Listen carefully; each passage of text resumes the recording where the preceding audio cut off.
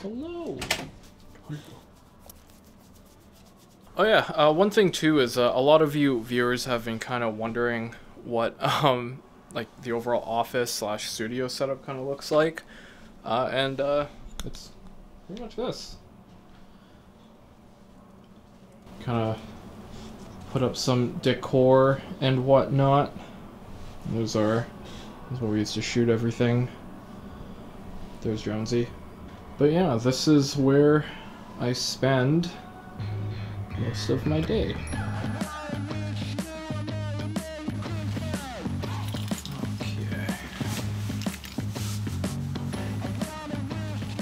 Hey, how's it going everyone? Dave here from Dash Vapes and welcome back to yet another video. As you could probably tell from uh, the b-roll from the intro of this video, it has gotten quite cold here at Dash Vapes HQ. Uh, the joys of Canadian winters are upon us. Oh my god. Oh my god, he on X Games mode. But being that it's kind of a uh, tradition with this channel, uh, I think it's a good time to talk about some winter vaping tips. Now, I know what some of you are thinking, uh, haven't we done this video already? Um, yes, yes we have. However, with YouTube pretty much killing where we stand in the algorithm, uh, our previous videos essentially lost in the realm of YouTube. Uh, so here's an updated list. So I think this is an important video to do because there are important things to know when the temperatures drop uh, that definitely get overlooked.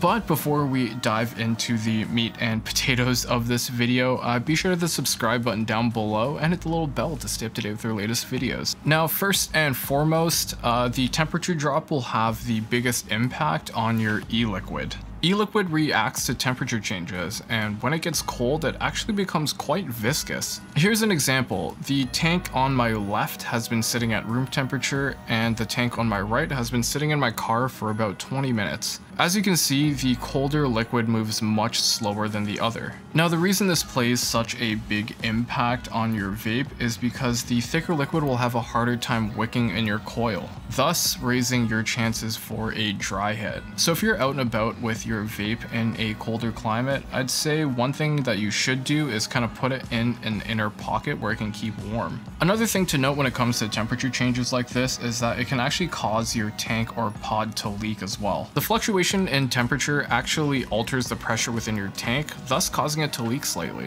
Where you'd probably notice this the most is if you come in from the cold outside air into a heated room, you might notice that your tank or pod has leaked a little bit. Again, keeping this on an inner pocket will help minimize these risks. Now, your e-liquid isn't the only thing that gets affected by the cold. Uh, your batteries will also react to colder temperatures as well. Just like Leafs and Habs fans, uh, batteries and cold temperatures never really got along. Uh, also, um, let's go Leafs. If you let your device get cold, you might start noticing significantly reduced battery life. Again, this doesn't only apply to vapes, you may start noticing the same thing with your phone. So again, keeping this in a pocket that's close to you where your body heat can warm it up is probably the best idea here. Now, if you're a minty or menthol e-liquid vaper, um, one thing you're definitely going to notice is that in the winter months, it's definitely going to feel a whole lot colder. I like mint flavors just as much as the next person, but for me personally, I find that in the colder months like we're experiencing right now, it's almost a little bit too much for me personally, but just as a heads up, your minty and menthol leaf flavors are gonna feel much, much colder. And the last tip in this video is going to be switching out your drip tips from metal to plastic. Now if you're already vaping on a plastic drip tip or mouthpiece, you don't really need to worry about any of this. However, a few tanks do come with metal drip tips. As nice as they are, uh, they might not make for the best uh, winter setup. Just like licking a cold metal pole, a metal drip tip has the potential to stick to your lips or tongue, causing quite an uncomfortable experience. Luckily, drip tips are extremely easy to swap out and they're extremely easy to find, so if you are currently using a metal drip tip, uh, I definitely recommend switching it out for a plastic one.